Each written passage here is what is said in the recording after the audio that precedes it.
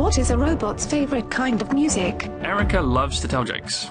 Heavy metal. They're cheesy, but give her a break. Haha. She is a robot. Well, let's just do one more. Sure. How do you stop a robot from destroying you and the rest of human civilization? Whoa, that's a little more serious. You don't. Geez, okay. Haha. Erica might not be so funny, but she is one of the many ways in which Japan is redefining robotics.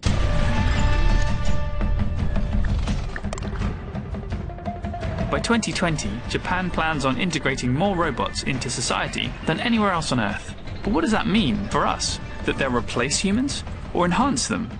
Or just be non-stop dance partners? In Tokyo, this guy believes robots could be everyone's personal sidekick, like the kind in Disney films. In Pinocchio, uh, there's Jiminy Cricket. He uh, works as an information device and also is being as a friend. To realize his dream, Tomotaka built RoBoHoN, a walking, talking smartphone that also exercises and streams YouTube from his head. The more you use him, the more he learns about you. He's small and cheerful, which Tomotaka thinks will broaden his appeal.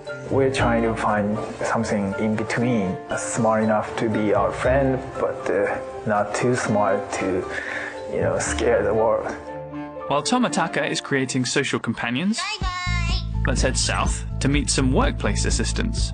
In Nara, close to a giant Buddha and these deer, a company called Atoun is making wearable robots which help people lift and carry heavy objects.